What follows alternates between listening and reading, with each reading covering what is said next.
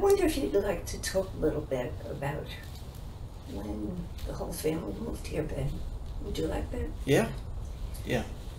Well, it seems like such a long time ago, but actually, it was a long time ago. And we moved in here in the middle of winter. It was it was October. No, it wasn't October. It was. It was January 31st of 1963.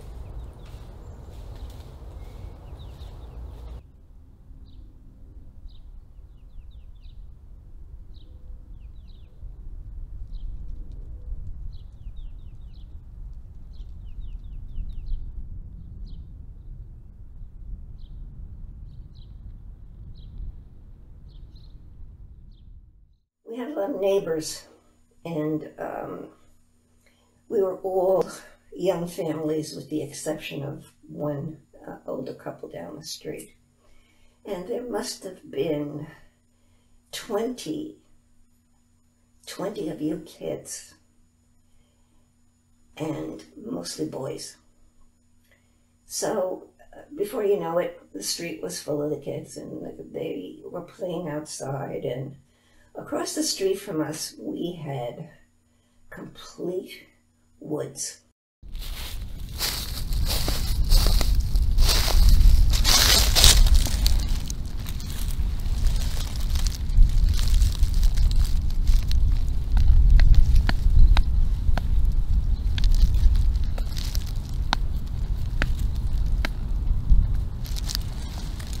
And these woods they turned out to be such a wonderful, wonderful playground for the kids. And the most important thing was we were not afraid to let the kids go. Uh, things were not at a, at a point where you would be afraid to let the children out of your sight.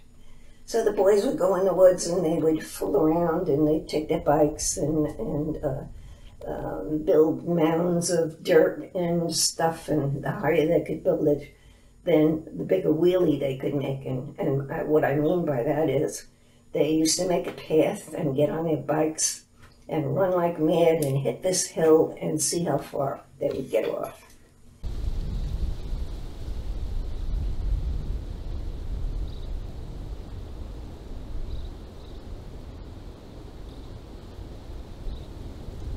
They had everything in the world to, to climb trees, to um, go down and look at the stream. And I have to tell you about this stream. I didn't know it was there, or we may have never moved to Harrington Park. Once I found out there was a stream, I had to tell the kids, you can't not go to the stream. Did they try and swim? No, no, they didn't. Not, not in front of me, anyway.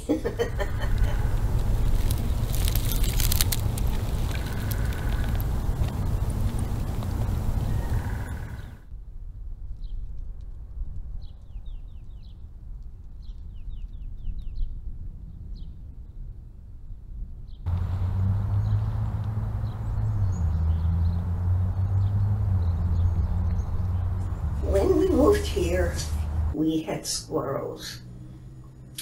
And we also had raccoons. And that's all we had.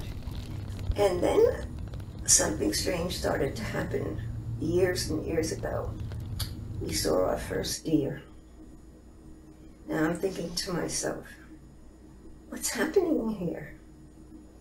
What are, the, what are the deers doing? Well, what was happening was they were building houses and houses and houses and displacing the deer.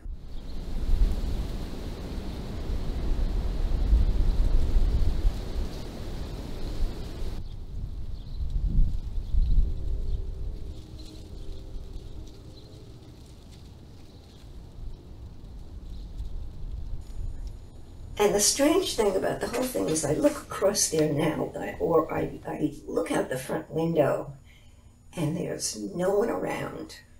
Whereas years ago, you couldn't look out the window without seeing ball playing or, or bicycle riding or the, the kids uh, up and down the street all the time. They were always, always somebody outside.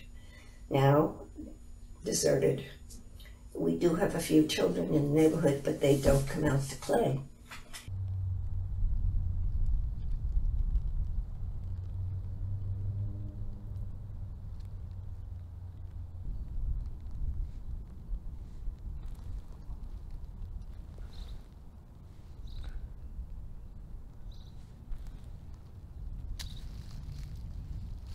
But what I'm trying to say to you is things have changed. I can't say whether they've changed for the good or the bad, but they have changed. And now the woods are for the deer, and the children, I think, are losing out on their playground because that was a wonderful, wonderful place for them to play, to learn, to look at, at certain bushes and certain trees and bring bring home a shiny stone. And my son Steve even brought home a white porcelain bird. Didn't have a chip in it. And of course we treasured that and uh, still have it. So somebody didn't like it, but I liked it, so it's still here.